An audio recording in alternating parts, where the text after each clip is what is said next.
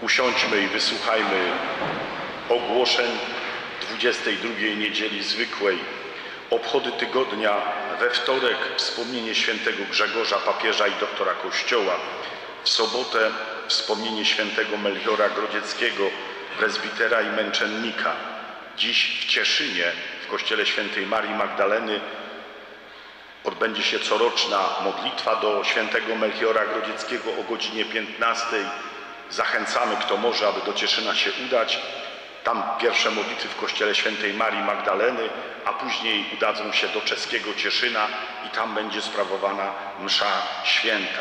Zachęcam, kto dysponuje wolnym czasem, nie jest to daleko, a warto, moi drodzy, w tych pięknych uroczystościach wziąć udział. Powtarzam, dziś godzina 15, Kościół Świętej Marii Magdalenie w Cieszynie. Poniedziałek rozpoczynamy nowy rok szkolny i pedagogiczny. Tutaj pragniemy go rozpocząć mszą świętą o godzinie 9. To w sposób szczególny dla dzieci szkół podstawowych. Zapraszamy wszystkich rodziców, dzieci, kateetów, yy, nauczycieli, pedagogów, dyrekcję. Moi drodzy, dla młodzieży zaś, jeżeli nie dadzą rano, wiadomo, rano, to niech może po południu na godzinę 17 przyjdą, aby rozpocząć kolejny swój rok nauki, edukacji właśnie z Panem Bogiem. Żyjemy w trudnych czasach, widzimy, co się dzieje odnośnie kwestii religii, że dla niektórych to, że religia jest w szkole, że uczy się o miłości do Boga, do rodziny, do ojczyzny, niektórym to bardzo, bardzo nie pasuje. Drodzy rodzice, przypilnujcie. Ja tu myślę szczególnie o młodzieży szkół średnich, aby nasze dzieci uczestniczyły w zajęciach z nauki religii. Powiem Wam, niekiedy rozmawiałem z różnymi osobami, z młodymi ludźmi co mówili w niektórych miejscach w naszym województwie czy naszej diecezji. Dyrekcje mówią w ten sposób.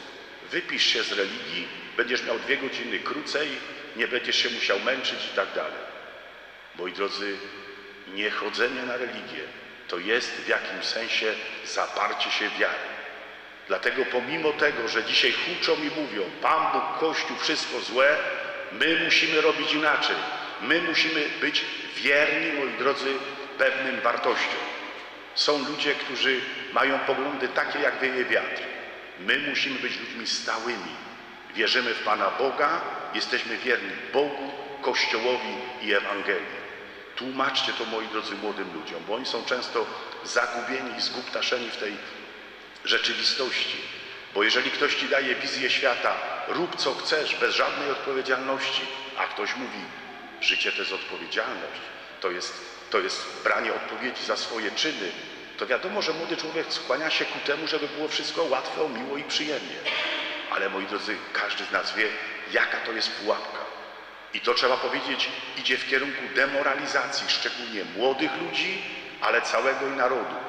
Oderwać od Boga, od Kościoła, od wartości Ewangelii. Nie dopuśćmy do tego, moi drodzy.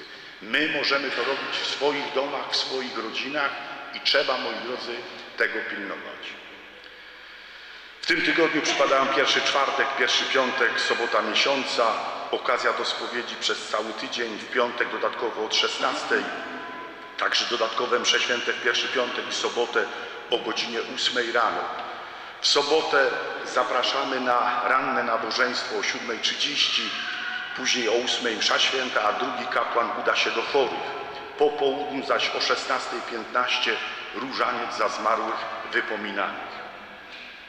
Zachęcamy też, żeby przypilnować, moi drodzy, żeby nasze kształtowanie młodych ludzi miało charakter dwubiegunowy. Chodzisz do szkoły, uczysz się, ale także dbasz o swoją duszę. I taką pomocą jest bez wątpienia każda niedzielna msza święta, korzystanie z pierwszych piątków, spowiedź, komunia święta i tak dalej. Kiedy te dwa elementy się równoważą, to moi drodzy, jest duża szansa na to, że człowiek naprawdę będzie rozwijał się całościowo. Proszę Was o to, drodzy rodzice, dziadkowie, pilnujcie swoich dzieci i wnuków, zachęcajcie do tego, aby nie żałować czasu, tak żeby tu przyjść, by się pomodlić, by skorzystać ze spowiedzi, przyjąć komunię świętą. W piątek spotkanie kandydatów do bierzmowania. Prosimy, aby przyszedł ktoś też z rodziców. Ksiądz Maciej chce wyjaśnić tam pewne zasady, które będą temu towarzyszyły. W przyszłą niedzielę, 8 września, rozpoczniemy coroczny tydzień wychowania.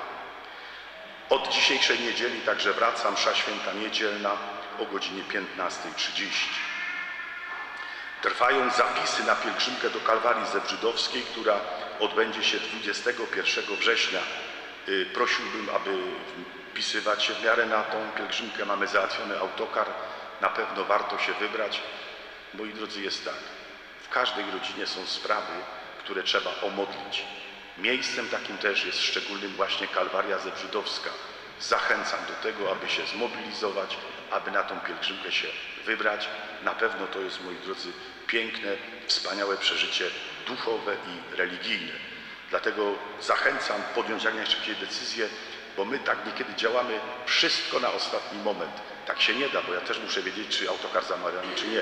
Dlatego proszę bardzo, aby wziąć to do serca. Jeżeli ktoś chce indywidualnie, też można samochodem i tam się wtedy, moi drodzy, spotkamy. Zachęcamy do czytania prasy katolickiej i jest gość niedzielny numer ciekawy, też warto poczytać. Zachęcam także do tego, by wziąć do ręki głos świętego Marcina. Y, Pani Elżbieta Cybulska tym razem pisze o tym, że każdy z nas jest wezwany do tego, by szerzyć nauczanie Chrystusa. Zachęcam do lektury, bo warto, moi drodzy, nad tym także się y, zatrzymać.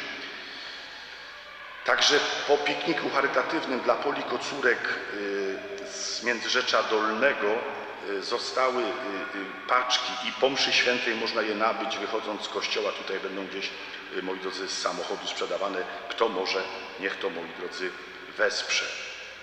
Wszystkim także składamy serdeczne Bóg zapłać za złożone ofiary. Moi drodzy, na koniec zaśpiewamy po błogosławieństwie Boże coś Polskę. 85 lat temu rozpoczęło się prawdziwe piekło. Zginęło 6 milionów Polaków. Niemcy zburzyli Warszawę, miasta, wymordowali masę ludzi. Można powiedzieć, że rozpoczęło się piekło. I dalej trzeba powiedzieć, moi drodzy, to piekło trwało prawie do 89 roku. I dzisiaj się mówi, że to Polska wygrała wojnę. Kiedy patrzymy na te wszystkie sprawy, to moi drodzy, chyba tak do końca nie było to inni wygrali. A myśmy później przez 50 lat od 1939 roku byli cały czas ciemiężeni. Trzeba się modlić, aby nigdy takie czasy nie wróciły. Ci ludzie, którzy wtedy nas najechali, i Niemcy, i Rosjanie, to bezbożnicy. Ludzie, którzy odeszli od Boga, od wiary. Nie dopuśćmy do tego, aby z naszych serc, z naszych rodzin wiara, miłość, moralność zniknęła. Boże, błogosław i miej w opiece Polskę. Pan z wami. Niech was błogosławi Bóg Wszechmogący, Ojciec i Syn i Duch Święty.